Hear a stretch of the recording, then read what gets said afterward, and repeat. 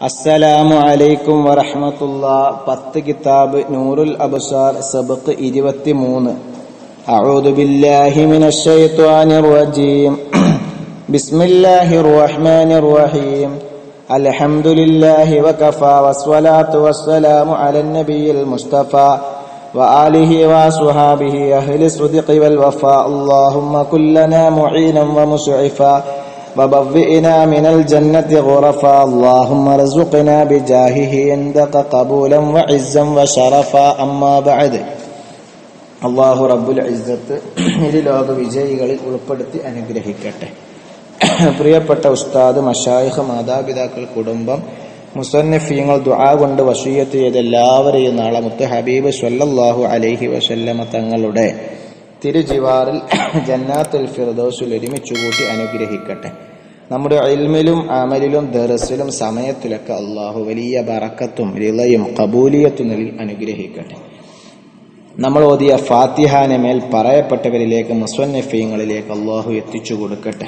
അവരുടെ ദറജ അള്ളാഹു ഉയർത്തട്ടെ. പ്രിയപ്പെട്ട മുഹിബീങ്ങളെ മൂന്നാമത്തെ ഫസലിലാണ് ഉള്ളത് ഇരുപത്തി മൂന്നാമത്തെ സെബുക്കാണ് ഇന്ന് ഓതാള ഭാഗം അമ്മൽ മുതനജ്ജിസു ഫമാ തനജ്ജസ ബി കൽബിൻ ഔ ഹിൻസീരിൻ ഔ ഫുറൂഇഹി എന്ന ഭാഗമാണ് അപ്പൊ കഴിഞ്ഞ ദിവസം നമ്മൾ നജസിനെ സംബന്ധിച്ചു പറഞ്ഞു. അതിൽ തന്നെ ഇന്ന് നമുക്ക് പഠിക്കാനുള്ളത് മുഗല്ലലായ നജസിനെ പറ്റിയാണ്. മുഗല്ലലായ നജസ് എന്ന് പറഞ്ഞാൽ അതിന്റെ ഹുക്കുമ് കുറച്ച് കട്ടിയായിക്കാരം. മുഗല്ലതിനർത്ഥം കഠിനമായത്. കട്ടിയായ വിധിയുള്ള മസാലകൾ ഗുരുതര ഗൗരവമുള്ള മസാലകൾ. ഉദാഹരണം നായ എടുക്ക. നായ തൊട്ട് കഴിഞ്ഞാൽ നനവോടുകൂടെ തൊട്ട് കഴിഞ്ഞാൽ അതിന് ഏഴ് തവണ ആ ചെരുപ്പ് കഴുകണം. നമ്മുടെ ചെരുപ്പ് നായ കടിച്ചു കൊണ്ടുപോണ കണ്ടു. അല്ലെങ്കിൽ പൊട്ടി നേരം വെളുത്ത് നോക്കുമ്പോൾ കുറെ അപ്പുറത്ത് കിടക്കുന്നുണ്ട്. കീറിയിട്ടുണ്ട്. നമുക്കറിയാം നായ കടിച്ചിരിക്കുകയാണ്. നായ തൊട്ട ചെരുപ്പ്. അപ്പോ അത് വൃത്തിയാകി ഏഴ് വട്ടം കഴുകണം. ഏ? അപ്പൊ അതൊക്കെ തന്നെ പറയണത്. കുറച്ച് കട്ടിയുണ്ട് ഗൗരവാണ്. ഏതായാലും നോക്ക അമ്മൽ മുത്തനജു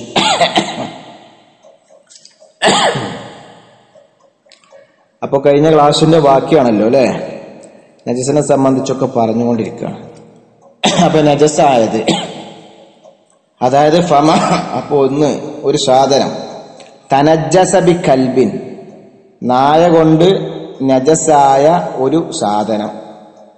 ഒരു സാധനം എന്ന് പറഞ്ഞാൽ ഒരു ചെരുപ്പായിക്കോട്ടെ ഒരു തുണി ആയിക്കോട്ടെ ഒരു ബക്കറ്റ് ആയിക്കോട്ടെ എല്ലാം പെട്ടു. അപ്പൊ നായ കൊണ്ട് നജസായ ഒന്ന്. അപ്പൊ നജസാകണം കേട്ടോ.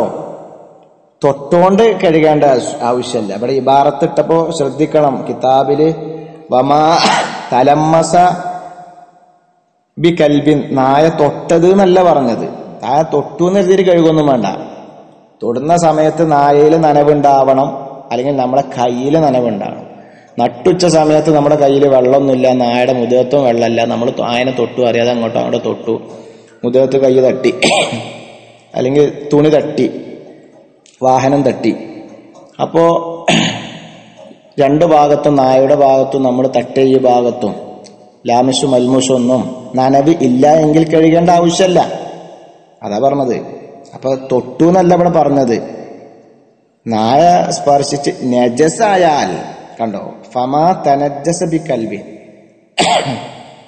നായയെ കൊണ്ട് നജസായ ഒരു വസ്തു. ഔ അല്ലെങ്കിൽ ഹിൻജീരൻ പന്നിയെ കൊണ്ടും. പന്നിയ നായക്ക് മുകല്ലതായ കഠിനമായ നജസുകൾ തന്നെയാണ്. ഔ അല്ലെങ്കിൽ ഫുറൂഇഹി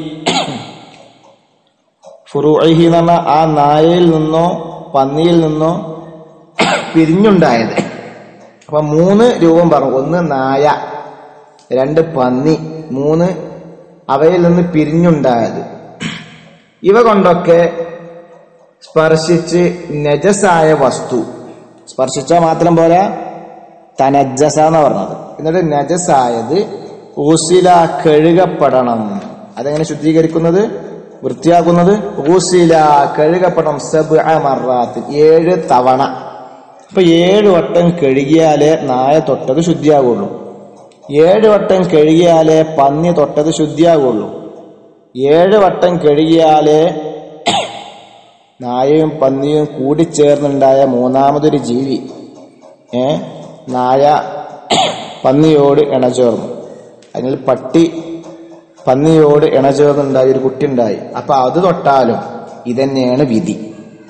സാധാരണ നായ പട്ടിയോടാണ് ഇണചേരലുള്ളത്. പന്നി ആൺപന്നി പെൺപന്നിയോടാണ് ഇണചേരലുള്ളത്. നേരെ ഒരു വട്ടം എന്നൊക്കെ പറയില്ലേ? ഏ? സങ്കരവർഗം അല്ലേ? അത് ഇൻഷാല്ല നമ്മൾ ക്ലാസ് കഴിഞ്ഞിട്ട് ഒരു അത്ഭുത കഥ നമുക്ക് അവസാനം പറയണം. അമേരിക്കയിലുണ്ടായ ഒരു വാർത്ത പത്രവാർത്ത നമുക്കൊന്ന് വായിക്കാം. ഈ ഇബാറത്ത് പാടന്ന് വായിച്ചു തീർക്കുക.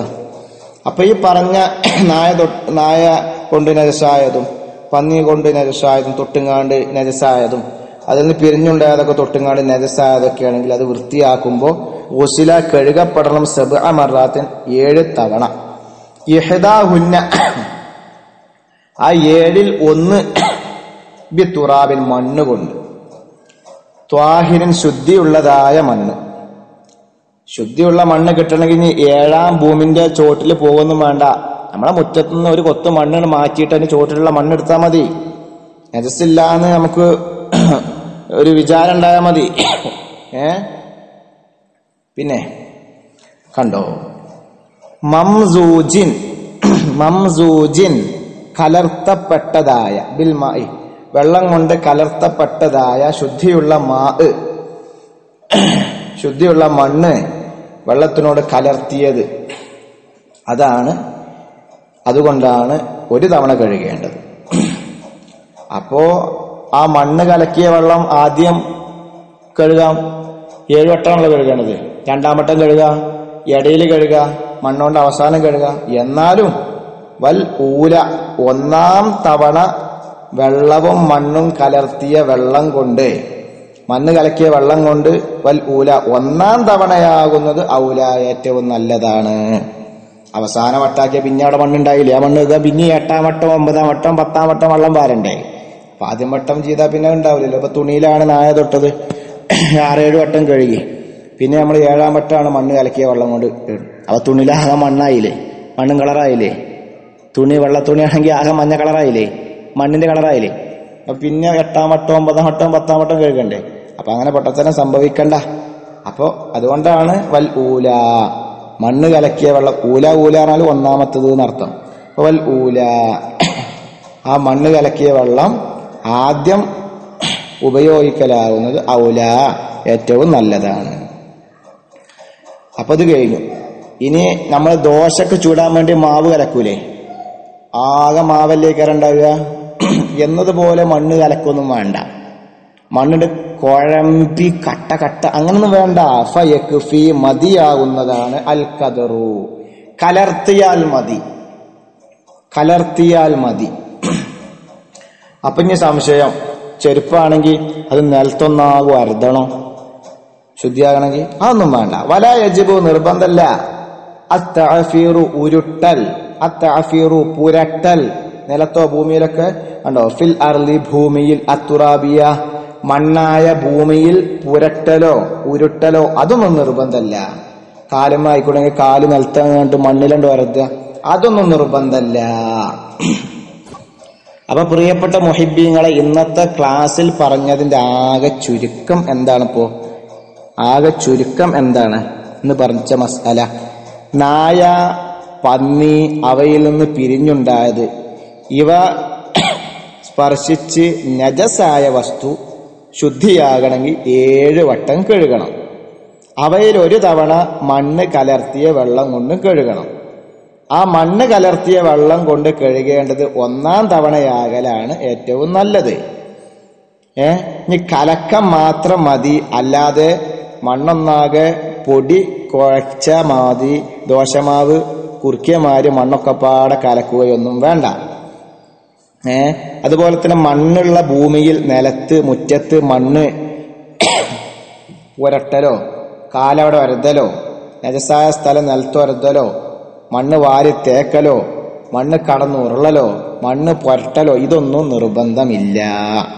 വളരെ നമുക്കൊക്കെ ഇടയ്ക്കെങ്കിലും ആവശ്യം വരുന്ന മസ്തലകളാണ് ഇൻഷാ അല്ല ഇൻഷാ അപ്പോൾ ഒരു കഥ വായിക്കട്ടെ? ഒരു ലേഖന സമാഹാരമാണ് അതിൽ വായിക്കട്ടെ. ആധുനിക യുഗത്തിൽ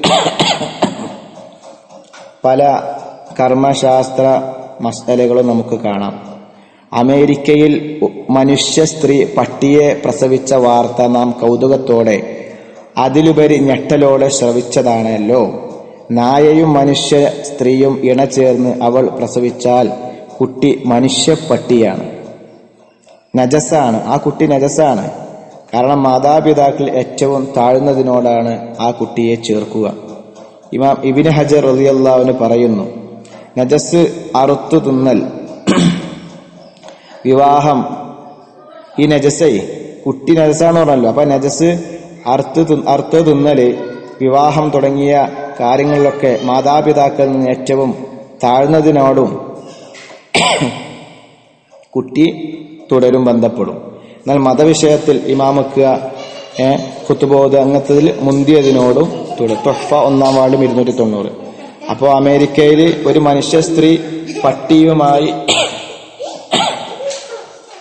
മനുഷ്യ സ്ത്രീ പട്ടിയെ പ്രസവിച്ച വാർത്ത നമ്മൾ വായിച്ചിട്ടുണ്ട്. ഇതൊരു ലേഖന സമാഹാരത്തിൽ വന്ന കഥയാണ്. ഇപ്പൊ ലോകത്ത് ഇങ്ങനെയൊക്കെ നടക്കുന്നുണ്ട്. മനുഷ്യൻ തന്നെ കൽബിനോട് ഇണചേരുക. ഹിൻസീറിനോട് ഇണചേരുക നായയെ ഭർത്താവായി സ്വീകരിക്കുക. പാമ്പിനെ ഭർത്താവായി സ്വീകരിച്ച പത്രവാർത്ത എന്റെ ശ്രദ്ധയിൽ പെട്ടിട്ടുണ്ട്.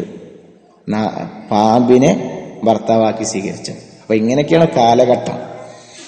അള്ളാഹു നല്ലത് മനസ്സിലാക്കാനും ജീവിതത്തിൽ പകർത്താനും തോഫിക്ക് നൽകട്ടെ. ഇപ്പൊ ഇരുപത്തിമൂന്നാമത്തെ സെബക്ക് പൂർത്തിയാകുമ്പോൾ അറുപത്തി മൂന്നാമത്തെ ചോദ്യം മുഹല്ലലായ നജസ് എന്നാൽ എന്ത്?